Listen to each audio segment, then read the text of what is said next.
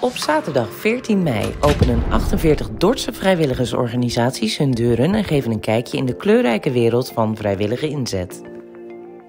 Ik ben Joke van de Ven en ik heb de Stichting Allure opgericht eh, en dat is een dagbesteding.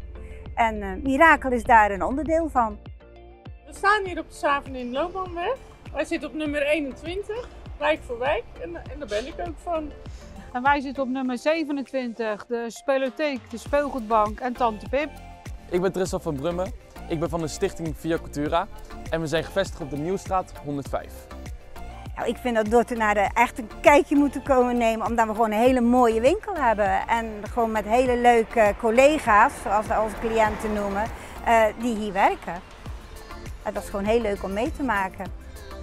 Wij doen mee aan de Open Deurendag omdat wij volgens mij een hartstikke leuke plek uh, hebben hier. En hele leuke activiteiten te bieden hebben.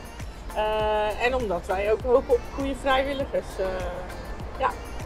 En wij doen mee omdat we op een hele mooie plek zitten in Krabhof.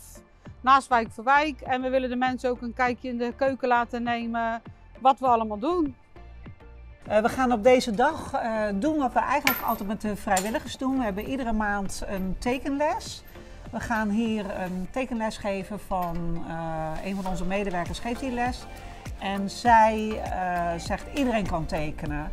Onze vrijwilligers hebben allemaal hun eigen specialiteiten. We zijn gelijkwaardig. We hebben allemaal een speciale inbreng. De ene doet geluid, de andere die, die maakt artikelen. ik doe de camera bijvoorbeeld en ik edit. En de andere die regelt weer alles.